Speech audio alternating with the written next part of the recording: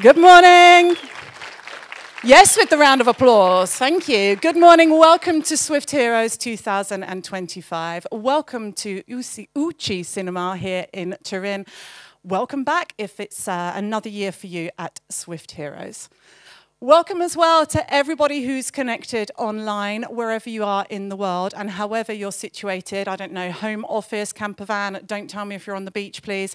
Thank you so much for joining us um, for this year's show. And I know there's a lot of you connected, and we are looking forward to you being part of this year's event. How do we get you guys involved in the show? How can you participate? How can you make comments? How can you ask questions to the speakers? That's what you want to know. Um, so you've got two options if you're in the room with me here. First of all, we will have microphones, just like this one, available for you to ask questions. So you put your hand up nicely, you wait for the microphone, and you ask your question, okay? Please wait for the microphone, because if you don't, we can't hear you. And the people at home definitely can't hear you, okay? So even if you think you're a great projector, right? Few of us here, hello. Um, wait for the microphone. We're good on that? There might be a few of you as well that don't like speaking in public. Hello, introverts. Um, and that's okay as well. You've got an option, two options actually. First option, you can go onto the event platform. You've had emails, you click, you log in, all the information's there, okay? Go onto the event platform. You can ask your question in the chat bar, and we'll ask the question for you here with the microphone, okay? Second option, new Swift Heroes Slack channel. Round of applause for New Swift Heroes Slack channel, please. Yes. All right, so you should have got an email this morning with the information. If not, phones out, QR code. Someone tell me it's working. Great, thank you so much. Um, so you can join the Slack channel. Um, you're all experts, it's pretty self-explanatory. There's a few different options on there. You can look at the general information, you can see what's happening today, and there should be a bit that's um, labeled questions and answers, something like that post your question there as well. Again, we'll ask the speakers, okay? It also means if we haven't got time for questions, or in the event that a question comes to you, you know, a bit after, after you've been thinking, you can pop your question there and the speakers can also respond on Slack, okay? I think that seems quite useful. It's quite a good upgrade for this year, isn't it? Everybody at home, you are cleverly already on the event platform. So all you have to do is pop your question in the chat bar. We'll do the talking part. You've also got the Slack option, so get on there and you can make your comments, same as everybody else in the room. So we're good with how to be involved, yes? Looking forward to lots of questions. Start thinking now. And you can also be active on social. Um, I think we generally use mostly LinkedIn and Instagram this year. Hashtag SwiftHeroes25, okay? Photos, posts, all that sort of thing. Um, all of you very busy on there. Last thing to say at an organisation point is problems, questions, things you're not sure about, ideas. Come and find myself or any of my colleagues in the orange t-shirts, and we'll be very happy to help you. Staff are all in orange, so if you see any of them, we can help you out, okay? Okay, so the next thing that I wanted to share with you is two bits of news about Swift Heroes. They're both important, one is really obvious and one is practically invisible, but we thought it was important to share them with you. The first is, welcome to the new venue. Yeah, you all got that memo, yeah? Um, how are you enjoying your comfy seats so far? Uh, yeah, and hi to the VIP people. Yep. Uh, hi, hi. Um, and I think today and tomorrow you might enjoy the quality of pixels. Mm. Um, so enjoy the resolution. I hope you enjoyed the new venue. This is the second event we've done here. We think it's a good choice so far, but we will look forward to your feedback as well, okay? The other piece of news about Swift Heroes, and as I say, this is practically invisible, but it's something that we think is quite important and we think is important for, for you guys as part of the iOS developer community. So Swift Heroes has always been organized been intended as a not-for-profit event, okay? It's a community event. And it was always organized by Synesthesia, the technology company. However, it's now organized by SIX, yes, which stands for Share Your Experience. SIX is the not-for-profit arm of Synesthesia, okay? that's why we're all still the same people. We've just been re-employed by the not-for-profit arm, okay? And not a lot's changed, even the branding. um, but the feeling has changed because we were always meant to be a not-for-profit event. We were, but now bureaucratically, we're also a not-for-profit event. Um, we wanted to share that with you because honestly, Swift Heroes has always been for the community. And now truly, even like at a slightly boring but bureaucratical level, it really truly is, okay? Small information to share with you. All right, no one bought a ticket to hear me talk on stage. No, I don't see any hands up.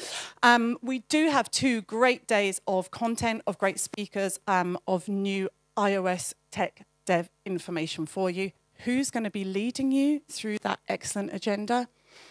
It's Mr. iOS Dev himself. Um, it's the hair of the community. It's mobile platform leader for Synesthesia. Let's welcome Stefano Mondino. Hi.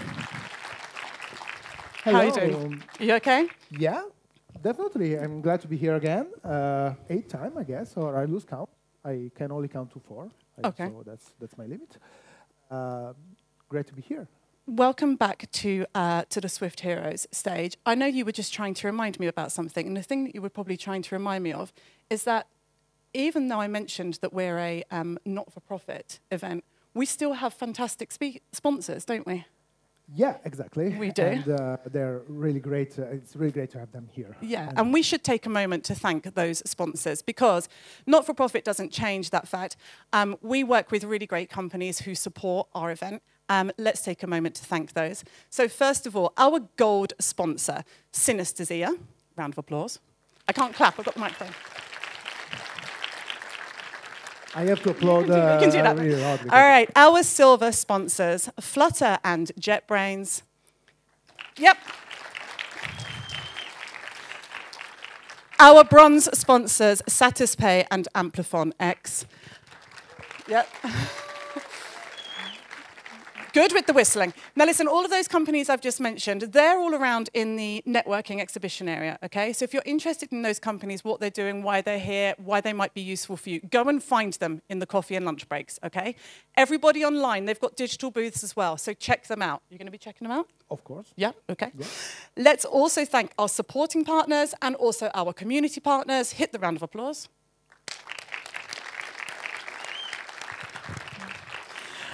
All right, and that's everybody we wanted to thank at this stage of the show. So, Steph, here we are again. Tell me, um, in the last year, something, what's changed in iOS Dev for you? What's new? What's different? Well, what changed? I mean, we, the, the thing that happened is that we all get acquainted and uh, used to our technologies. Uh, for me, it was first RxSwift and back in the days, and then Combine, and then Apple came out after last WWDC and basically told us, uh, get rid of it. We don't want it uh, anymore.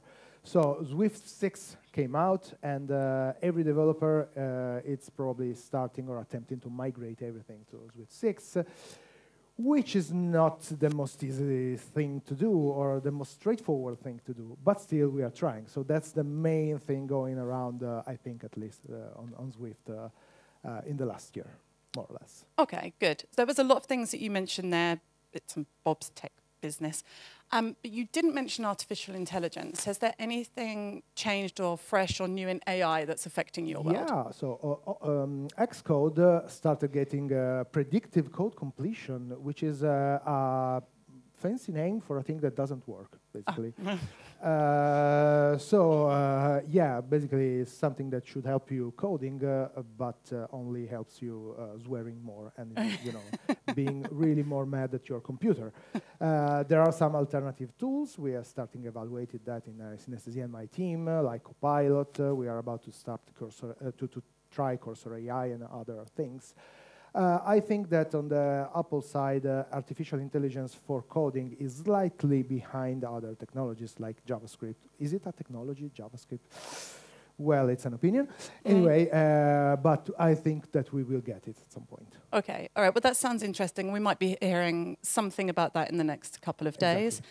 Um, but just tell me and the lovely people, have you made one of those um, action figure Stefano Mondino? Yeah, like the, the Genmojis. Yeah. yeah, I tried that by, you know trying to create a meme of myself, but it didn't went well because I don't know why my jaw is really big, uh, more than it is in the in the reality, and uh, I still have to tweak it in the in the right way. Okay, improvement still. All right, so Steph's going to be taking you through the show. He's going to be introducing all of your lovely speakers. He will be handling your questions. I want you to make him work hard. Deal? Deal. All right, thanks. All right, Steph, you have a great show. Thanks. See you later.